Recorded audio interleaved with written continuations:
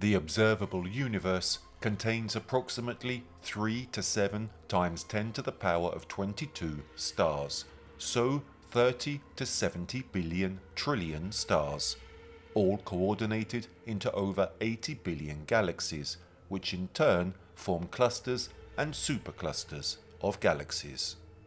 Since the time of the Greek philosophers, human beings have wondered if we are alone in the universe, or if there are other inhabitable planets that can host intelligent civilizations similar or different from ours.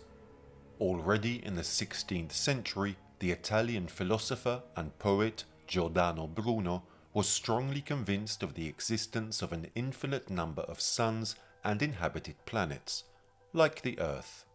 In 1855, the existence of an exoplanet was postulated by Captain W. S. Jacob, who discovered anomalies in the star system 70 Ophiuchi, a binary star system. Anomalies that he thought were due to the presence of some planets.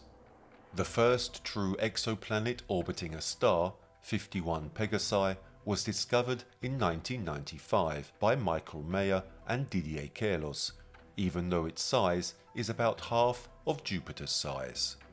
Since 1999, scientists have started to discover a whole series of exoplanets, most of which are large planets and none are considered terrestrial. Considering just what we humans have discovered about our own solar system, we can understand the greatness and power of everything around us.